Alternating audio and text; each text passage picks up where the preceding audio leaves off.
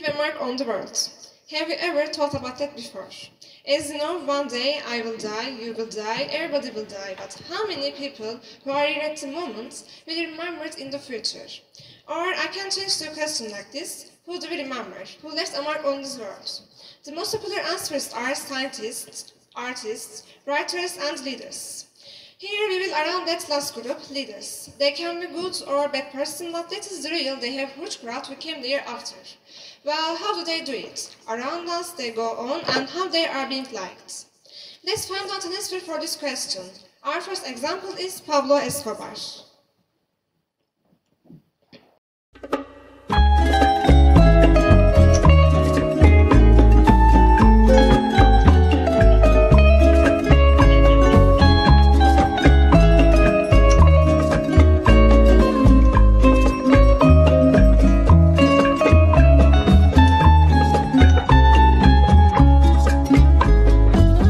Soy el fuego que arde tu piel, soy el agua que mata tu sed, el castillo, la torre, yo soy la espada que guarda el caudal,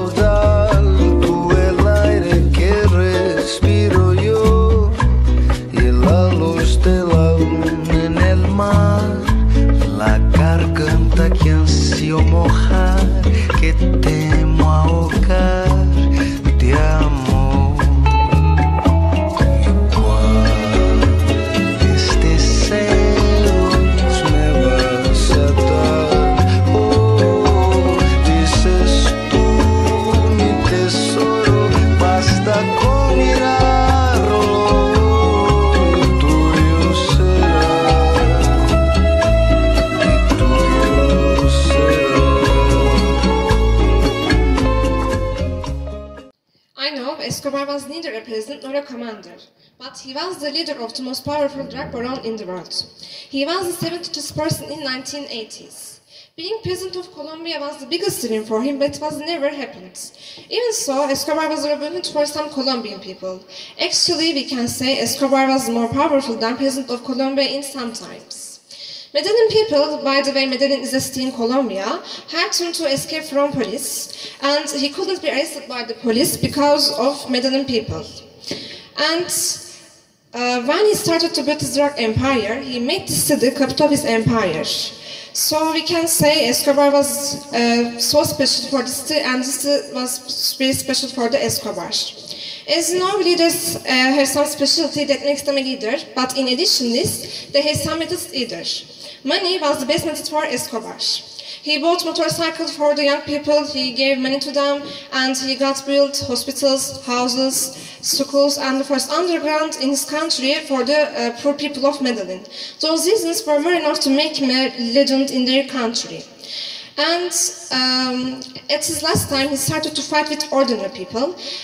Uh, he- before he had never lost ear spurs, and even he was chosen as a politician of the Parliament of House.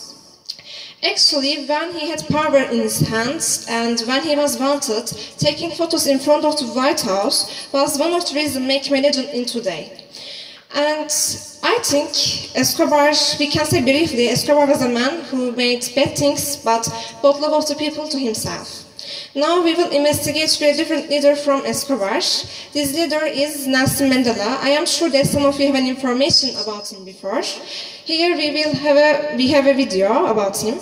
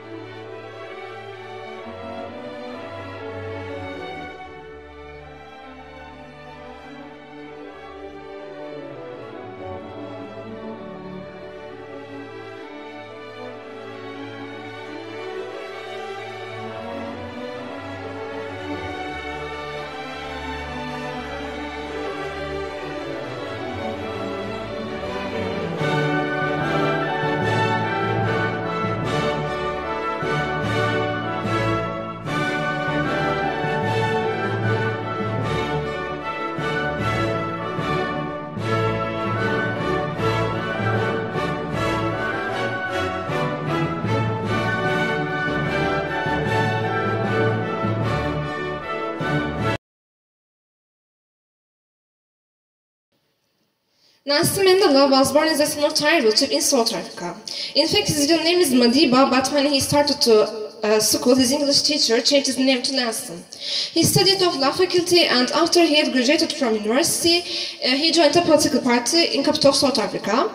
This party is ANC. It means African National Council. ANC was opposed to colonial policies, so their mandate was fighting with racism.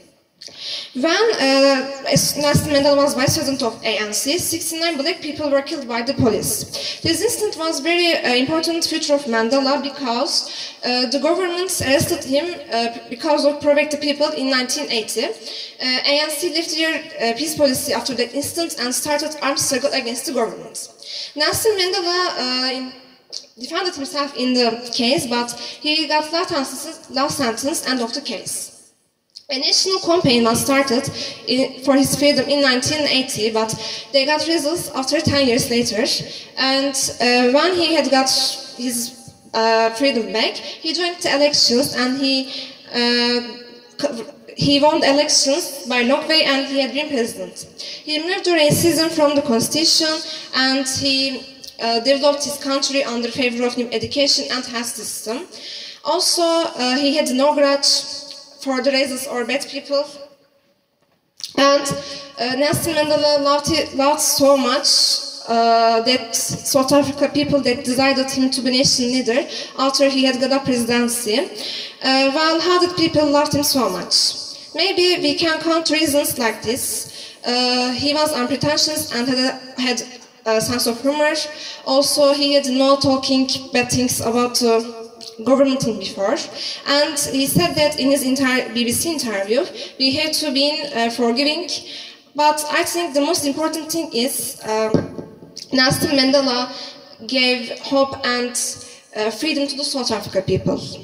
Today we found uh, something about the different leaders from each other's and these leaders, um, their, their, countries, uh, languages, uh, methods and characters are different from each other, but uh, this that is the truth, either of Tamar legend in their country. And uh, I think, uh, I am, and uh, now I want you to imagine that. If you would be a leader, which of them could be you? Thanks for listening.